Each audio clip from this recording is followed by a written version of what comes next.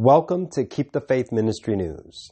House Speaker Nancy Pelosi gave a speech on the House floor on Friday as the chamber was preparing to vote on the Inflation Reduction Act, in which she declared that that act was about values espoused by Pope Francis.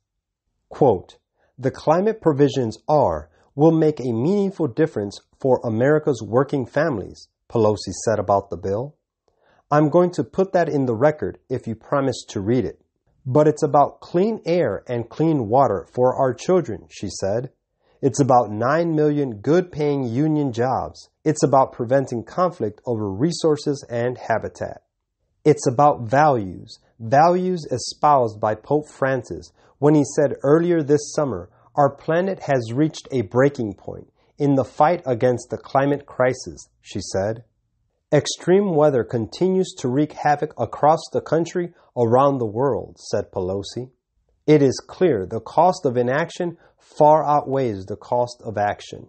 The bill saves the planet while keeping more money in your pockets, she said. For working families, you'll save an average of $1,000 a year in lower energy bills.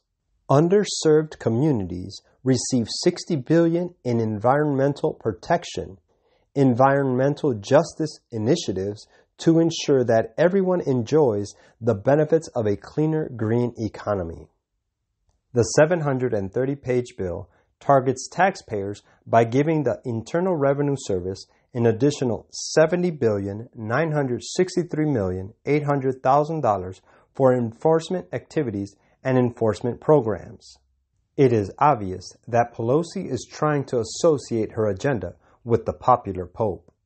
Quote, and I saw one of his heads as it were wounded to death, and his deadly wound was healed, and all the world wondered after the beast. Revelation 13:3. This is Keep the Faith Ministry News. Thank you for watching.